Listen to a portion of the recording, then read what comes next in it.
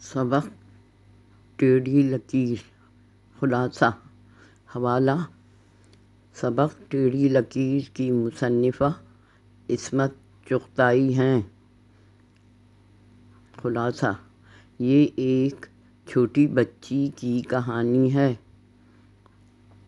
जिसको घर के सारे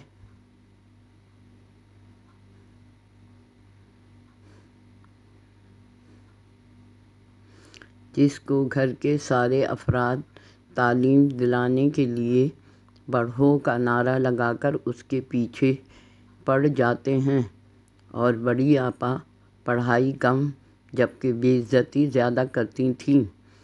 फिर उसके लिए मौलवी साहब और मास्टर साहब भी रख दिए गए, रख दिए गए। जब मास्टर साहब पढ़ाते पुल पर जा, ये उसका देवर है तो बच्ची ख्यालों में सोचती, क्यों जाऊँ पुल पर? देवर इस, देवर उसका तो नहीं है। फिर जब गिनती और पहाड़ी सिखाते, मगर उसे जमा तफरीक, ज़रब तकसीम में कोई दिलचस्पी नहीं थी। वो सलेट पर नकल करके लिख लेती।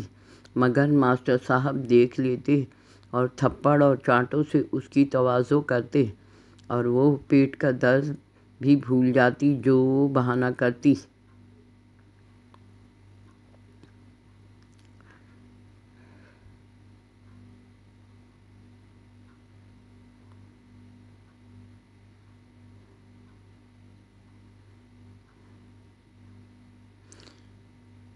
मास्टर साहब पूछते, एक पैसे की दो नारंगियाँ तो डेढ़ रुपए में कितनी?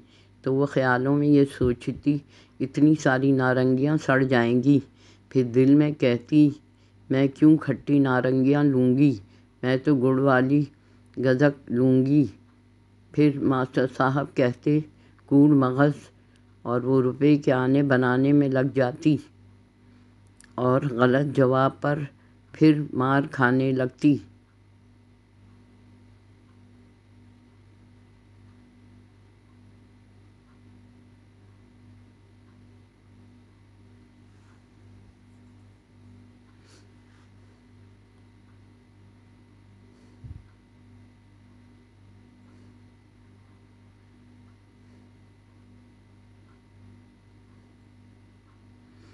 फिर मास्टर साहब पसीने में डूब कर निढाल हो जाते। दूसरे दिन दरियाओं के नाम पूछते, जहलम चनाब रावी ब्यास सुतलज जवाब न देने पर मुँह पर और हर तरफ़ चांटे पड़ते।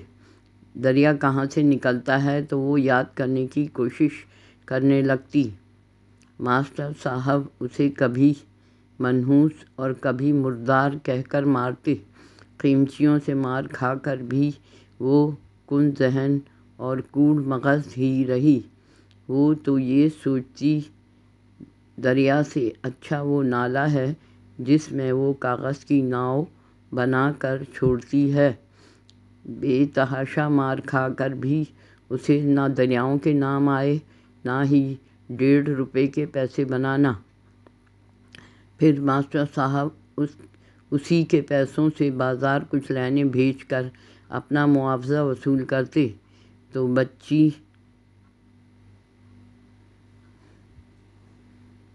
तो बच्ची गैर यकीनी कैफियत में रहती कि छुट्टी हुई भी है या नहीं। इतने में उसे मास्टर साहब का थप्पड़ फ़िज़ा में बुलंद होता नज़र आ जाता।